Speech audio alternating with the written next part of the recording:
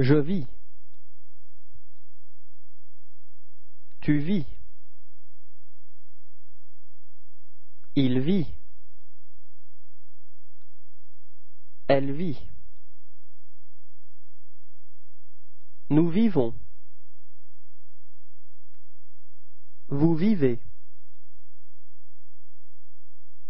Ils vivent. Elles vivent.